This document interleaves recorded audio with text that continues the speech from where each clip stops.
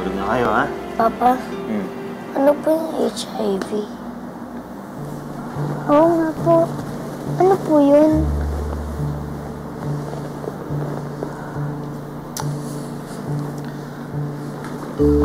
Anak, yung HIV, isa siyang sakit na nagpapahina sa katawan ng tao. Um, for example, yung good virus, pinapatay siya nung bad virus. Okay? Kaya nagkakasakit yung mga tao. Parang si mama po. Sabi po kasi ni Lola may HIV si mama.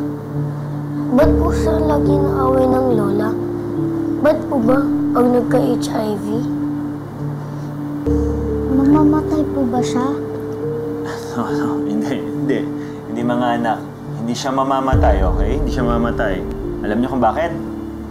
Kasi strong ang mama niyo, di ba? Strong siya, di ba? Di ba? Pero sabi ni Lola, Mga anak, kailangan nagtutulungan tayo. Kailangan lagi nating love si mama. Para yung bad virus na nasa loob ng katawan ni mama, matatalo ng good virus. Okay ba yun? Okay. O, sige. Mag-pray na tayo. Angela, anak, can you please lead the prayer? Kasama na po si mama sa prayer natin.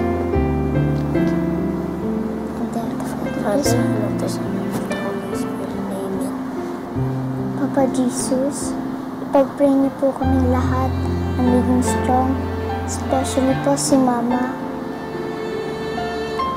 Pag-pray niyo po na lumaban po ang good virus sa bad virus para hindi na po siya maging sick.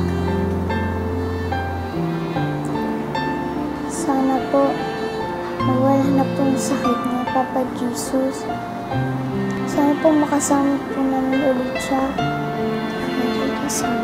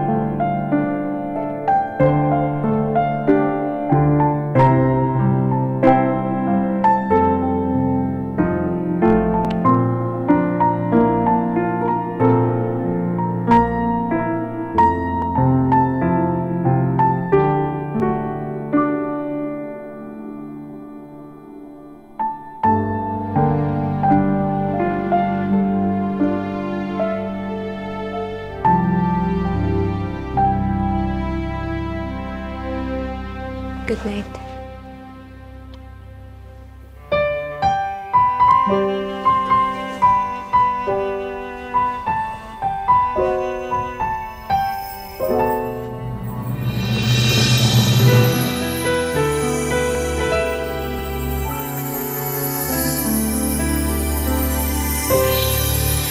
Bakit di mapahal